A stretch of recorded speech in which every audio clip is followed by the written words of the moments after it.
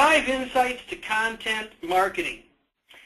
Today we'll cover what we believe to be five important principles to content marketing. These should guide your decisions in developing content in the future. Principle number one, content is king and consistency is queen. Now we've been in the message on hold business for 27 years, and one thing that we've list, uh, we've learned in all of that time specifically is that consistent timing is critical for our clients. When a client orders a production and provides us a deadline to meet, we meet it every time, no questions asked. What we've learned about social media marketing is that communicating with your community is core. And it's core to building trust and influencing decisions. If you develop content that reinforces your reputation uh, of being an expert and, and being a generous participant and focusing on the success of others, you must publish that content on a consistent basis. Because if you begin to draw in your audience with your content and then you miss a beat, they'll notice, and that may affect your reputation negatively. Content is king in the social media arena, but just remember that consistency is that woman behind every great man. Don't publish, program. In traditional media channels, the term programming is common. In fact, uh, television shows succeed or fail based on programming. A television network will build viewership of a specific show to a level and then drop in a new show right after that previous show, hoping to attract an already in place audience to stay and to watch for another 30 minutes. And the program then, they would assume, is so good that you want to come back and watch again next week. Radio stations do the same. Unlike books or magazines, that are intended to be read once. The broadcast media outlets have perfected the programming angle. Keep the consumer coming back by establishing a placeholder in their calendar. and it's time that you apply the TV network lesson to the social network. Plan your content more like a television program director and less like a single book author.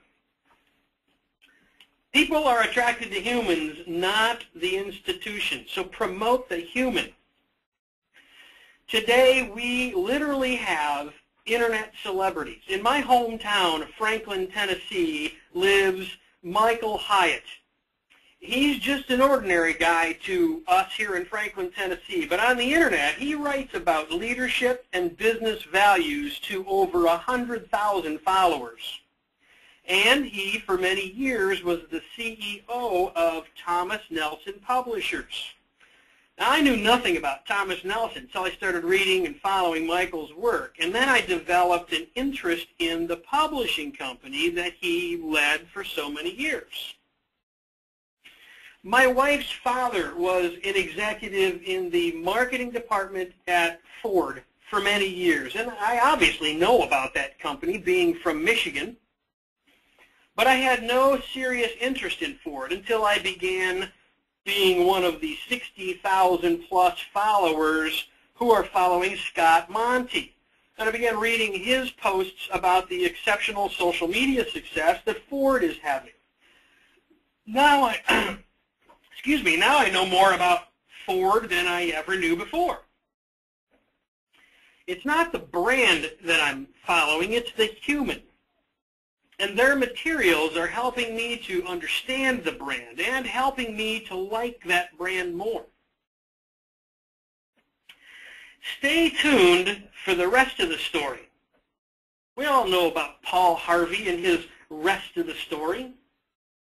You've heard talk show hosts who close a, a, talk segment just before a commercial break and leave you with a teaser. And they leave you wanting more. That's a staple in most media. So let's use that in social media. When you begin planning your content marketing calendar, make sure that you are building with ex expectations and with affinity to your audience by teasing them with content that you have coming up next. I'll show you an example of that as we get to the end of our social media traction class today. Be alert and be ready. In the plumbing business, you're never really off the clock. In fact, you're on 24-7, or at least someone in your business is. Probably the cell phone ringing at the dinner table is a familiar sound. When you're building a business and you're looking to serve your customers, you'll leave the dinner table to make an extra buck and provide a higher level of service than your competitor. So why are you engaged in content marketing in the first place? Because you want to grow sales and you want to build brand awareness. However, to reach these goals, you need to first build an online conversation around the content that you produce. When people begin talking about your content, you need to be sure that you are ready to participate in real time. Look for ways to staff your online communication channel with humans from your company. And make sure to schedule shifts that would assign the staff to cover weekends and evening hours.